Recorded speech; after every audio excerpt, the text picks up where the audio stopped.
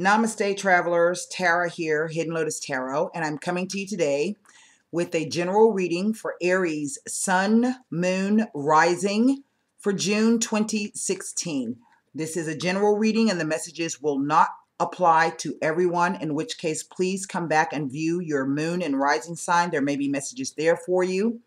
If you'd like, you know, information on your own situation, you have to book a personal reading. You can go over to the website read about the packages. Please make sure that you fill out the form. They're on separate pages. I, I apologize for that, but that's the way it's done. And uh, then I can read on your specific situation. I can pull up the energy surrounding you and your situation personally. Um, Mercury did go direct on the 22nd. However, it is still in its direct shadow phase, which means um, it can still play a few tricks on you, although you may be feeling an easing up of tensions surrounding, you know, travel, uh, automobiles, trains, planes, boats, communications, text messages, emails, small appliances, phones, computers, anything that's been giving you kind of a headache, any kind of delays, news that you've been waiting on. Um, by the 7th of June, we should be in the all clear. We still have Saturn in Sagittarius retrograde. We also have Pluto and Mars retrograde. There is one more planet retrograde, and I can't tell you which one that is. But either way, um, we are headed into the summer season here in the States. This weekend marks the start of summer with Memorial Day. So um, I think we're going to have a lot of things on our plate coming up with Mercury going direct. So we're going to get right into the reading. Um, I was having a run of some really beautiful readings there, and then I started running into some strange energy for some signs. So the Aquarius reading was very, very strange. So if you have an Aquarius moon or rising sign or you're dealing with an Aquarian person, make sure that you go back and you, you take a look at that video. Um, that was quite um, interesting. So we're going to do the Hidden Lotus spread and we're going to see what energies could possibly be coming. And I say possibly because this is general. Okay, coming up for Aries, Sun, Moon, and Rising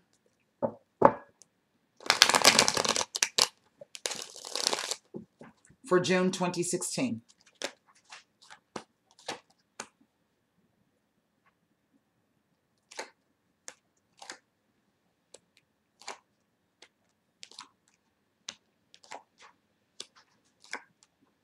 Wow. Now somebody else got got this in a sense same reading. Um, underneath the deck though I have the two of coins. And what I was looking at, what I was, um, was these aces. Um, this has already turned into an ace. So this is an influence passing away. So is this. So there's either money and love involved or the love of money involved or um, there's two situations involving uh, family, things built up, um, extreme emotional contentment and finances. Um, and really, you can't separate any of these things from the other. Um, right in the center, I have the I have the Hierophant, and the Hierophant um, represents institutions. Hold on one second. Go to your house. Go to your bed. The Hierophant represents institutions, corporations, any place where there's structural hierarchy, universities, it represents teachers, it represents doing the social, uh, the true social norms, religion, and it also represents uh, doing the right thing in marriages, okay? And for some of you, in a sense, I'm getting that this can be, this is either a marriage offer or it is the end of a relationship like a marriage. Either way, it's something quite sudden. And I say that because I have the two tens, the two family cards here. Okay.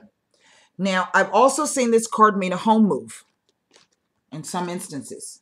Okay. Like maybe you have to move away um, to get a better job or you're moving away because, um, you know, it's going to financially benefit you of some sort. What's quite interesting, though, is that even though the tower comes in to tear down certain things um, and allow you to build up over it, it comes through with Jupiter. And Jupiter is all about expansion, it is about growth, um, it is about new opportunities coming in um, with the Hierophant. So this is either going to be really, I think it's either someone has suddenly fallen in love or someone has been suddenly proposed to, or that um, someone has made a decision to either leave a situation, either to go back to school, um, either to move to get a better job, um, or just to move because and to leave a situation because it's time now. Okay, it's sudden and unexpected. Sudden and unexpected. Okay, um, there is a victory in this whatever this is. It is a brand new offer. And see that portal way there? All you got to do is step through the opportunity when it's presented to you. Um, if it hasn't been presented, it is coming. Now, I have the Aries card here. And whether you are male or female Aries, whether this is a work relationship or a romantic relationship or personal relationship, and if it's a romantic relationship, whether you are the male or the female in the relationship, um, what this is telling me is that there's going to be some stability and some structure coming in. This is turning into the Ace of Cups. This influence is already passing away. As you can see, these two, okay? So for those of you whom this has not started yet, it is definitely coming up. The influences have already passed away. And whatever this thing is, this card represents the extreme emotional contentment. All right? the emperor, this card can be a counselor, he can be a guru or a teacher of some sort, but this guy represents some type of father figure, authority figure, boss type figure. Um, maybe some of you met someone. I mean, really, it doesn't matter what the situation. This is something that is unexpected. So if it hasn't come yet, be on the lookout. Um, this says that whatever you already have built up, you've done a very, very good job. You've done that through being rational, logical, fair, and balanced, but now it's time to increase and expand your territories and your possessions. Um, that's what Taurus deals with, your possessions, your self-worth. Perhaps this is your confidence coming back. Um, I'm not looking at the tower as a negative uh, because even if it, it was the shakeup of a relationship or a marriage, I don't really think that it came as a surprise to you. Perhaps the speed in which it happened, okay, might be a surprise to you. But this is an unexpected, really an unexpected windfall, is what it says. A stroke of luck. So whatever this thing is, it's something quite positive. Please be on the lookout for it. This, when I see this, it's an unexpected windfall. Now, I'm not saying that, you know, you're going to win the lottery, although you might. I'm not saying that maybe somebody's going to pass away and leave you some money and property, but it might happen. This could literally be like an opportunity just falling into your lap that's going to be extremely, extremely beneficial on all levels. So I have the wands, I have the the cups, I have the pentacles. Um, it's going to be beneficial for you as well on a spiritual level. This is going to allow you to grow spiritually through the experience of it. Um, I do have one, two, three, four major arcana cards, three right down the center. Whomever this, if this emperor is not you, but someone that you run into, they may not be of a fire sign, but it can be, as I said, someone who embodies this uh, stance, uh, someone who's logical, balanced, rational, fair, um, will be tough when they're angry. Uh, they come with a lot of unexpected opportunities. The Ace of Cups is not just about love. It is also about um, a fresh emotional start and a fresh spiritual start. There's the dove. This is literally the overflowing tears, being happy with joy. Um, this is all about increase and abundance. But what I see coming up by, I'm going to the, the timing of the Two of Coins is the December 23rd through the 30th. So right around the new year, okay, um, it may bring up the energies of this Two of Coins. All right. And this card is about adaptability. It is about play. It is about juggling things. Um, it can literally be, well, maybe all of a sudden your finances, because this looks like, you know, there could be a lot of positive, there are a lot of positive benefits, and this really reeks to me of some kind of unexpected windfall in whatever way that means.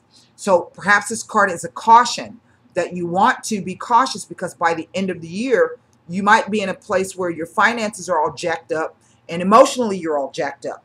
So to embody the energy of the emperor, try to remain balanced and fair and logical in the way that you're dealing not only with others but mostly with yourself. Um, he kind of comes in like the daddy to say, "Wait a minute, you acting all foolish. Don't do that." So uh, this is. I don't even have to. Look. I want to see what's underneath the Hierophant. There, because there's really no.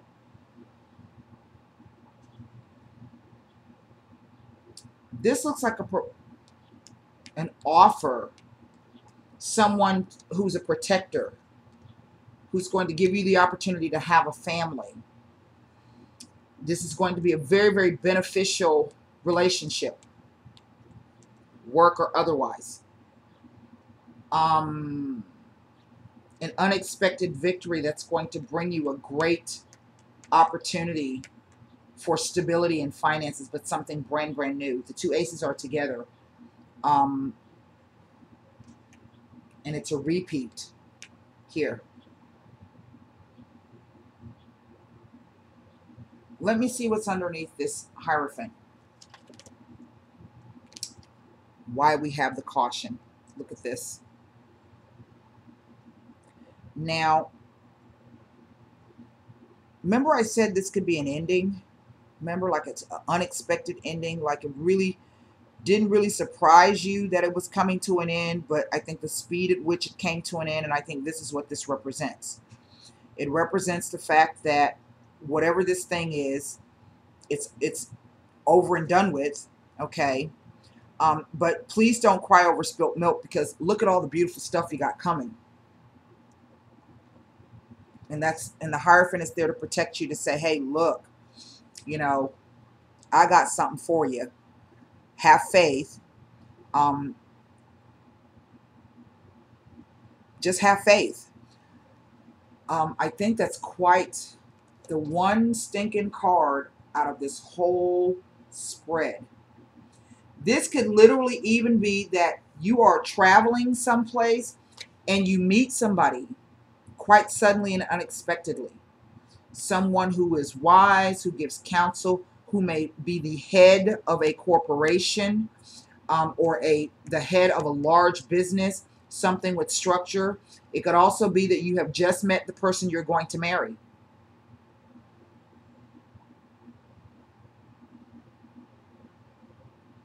And there's a lot of fire and passion around this, as typically you Aries people are.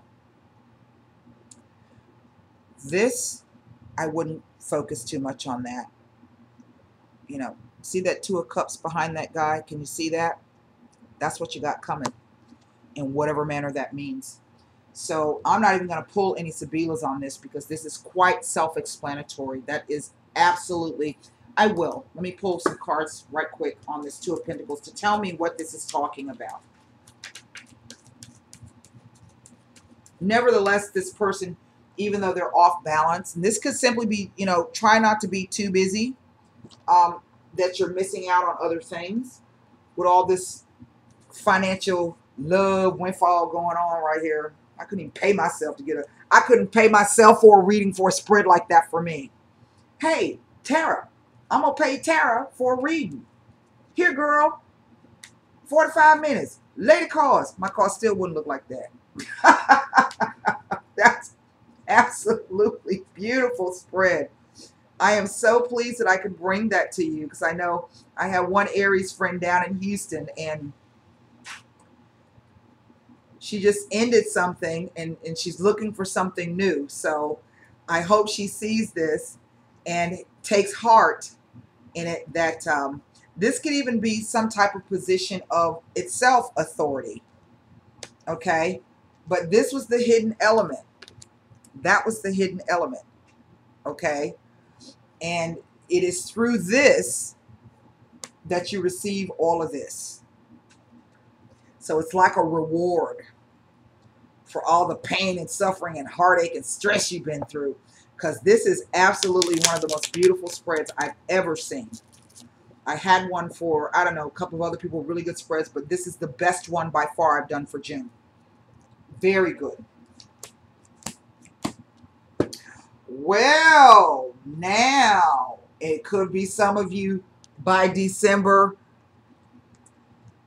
might be expecting a baby or to start a family.